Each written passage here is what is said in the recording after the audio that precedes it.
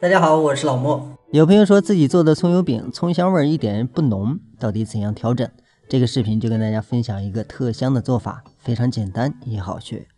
首先，面粉咱们选用的是中筋面粉，当然咱们用高筋、低筋都 OK。这里是两百克，加入一克盐来增加面的筋骨，拉伸性更好。然后酵母准备两克，咱们需要做发面的。接着水，咱们需要的是温水一百五十克，也就是每一百克面粉放七十五克温水。这里的水温要达到四十度，这样才能保证这个面团的发酵是正常的。另外，咱们在和面这一块一定要注意，用温水和面速度一定要快，尽量在一两分钟之内完成。这样咱们和好的面团呢，它的温度是很高的。发酵自然就快。另外，在揉这块面的时候，虽然粘手，但是咱们一定要多揉一下，直到它像这样不太粘，咱们直接包起来发酵。包的时候只需要包严，不要漏气就可以，这样能锁住温度，更好的去发酵。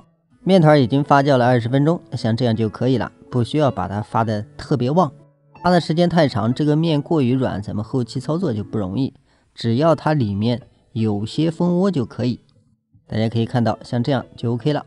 因为面团是比较软的，咱们案板上呢刷上一点油，这是防粘，这样咱们操作的过程呢也更加顺利流畅。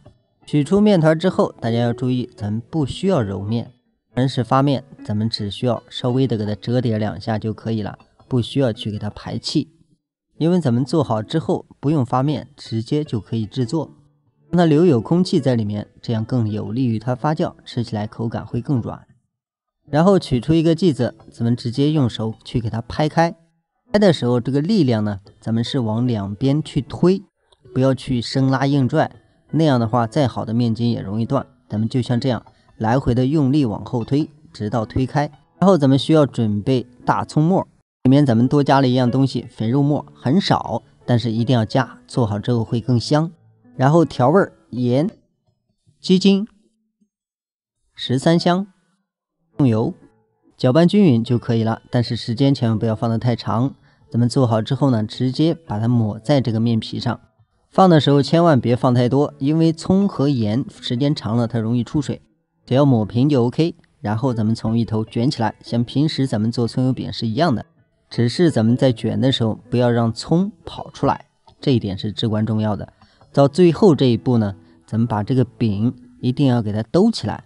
的时候，咱们把另外一头稍微给它往里面捏一点，就是兜进去，不要让它露出来，然后直接把这个拉过来就可以了。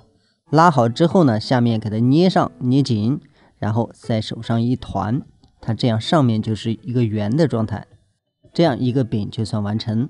可以看一下，只要它上面不漏就 OK。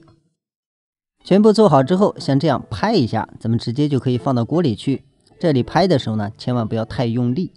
这咱们就可以做了。饼铛里面稍微多加一点油，这样做好之后外皮更脆，颜色更好。热个一两分钟，咱们就把饼放进去。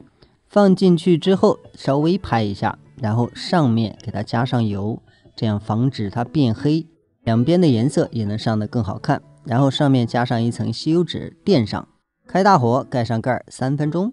开盖儿之后，咱们不需要翻面，只需要把这个吸油纸拿掉，咱们在上面再加上一点油。这样做就比较省事儿，咱们不需要来回的翻，然后直接再盖上盖儿焖两分钟出锅。做好的葱油饼外皮比较脆，里面比较软，而且葱香特别浓郁，口感也特别香。喜欢的朋友可以试一试做法。好了，咱们今天的视频就到这里。如果您喜欢呢，也别忘了帮忙点一个关注。下期视频再见。